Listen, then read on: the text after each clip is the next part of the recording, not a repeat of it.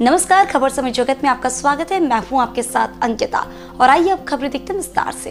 गाजीपुर जनपद में 17 सितंबर से 2 अक्टूबर 2024 तक चलाए जाने वाले स्वच्छता ही सेवा 2024 अभियान हेतु उत्तर प्रदेश सरकार के राज्य मंत्री रविंद्र जायसवाल ने रेवतीपुर रामलीला मैदान में झाड़ू लगाकर साफ़ सफ़ाई करते हुए स्वच्छता के प्रति शपथ दिलाया। प्रभारी मंत्री ने कहा कि स्वच्छता प्रत्येक व्यक्ति का दायित्व है। इस स्वच्छता सेवा अभियान में अपनी भागीदारी सुनिश्चित करें। मंत्री द्वारा बाढ़ प्रभावित क्षेत्रों का निरीक्षण किया गया और अधिकारियों के साथ बैठक कर सभी अधिकारी कर्मचारियों को स्वच्छता के प्रति शपथ दिलाई। इस अवसर पर मुख्य रूप से जिलाधिकारी आरेखा खौरी मुख्य विकास अधिकारी संतोष कुमार वैश्य पुलिस अधीक्षक ज्ञानेन्द्र कुमार नगर उप जिलाधिकारी सेवराई संजय यादव अपर जिलाधिकारी दिनेश कुमार पंचायती राज अधिकारी अंशुल मौर्य खंड विकास अधिकारी रेवतीपुर एवं अन्य अधिकारी व आम जनमानस उपस्थित थे। गाजीपुर उत्तर प्रदेश ऐसी खबर समय जगत के राम प्रवेश राय की report. For latest news, subscribe to our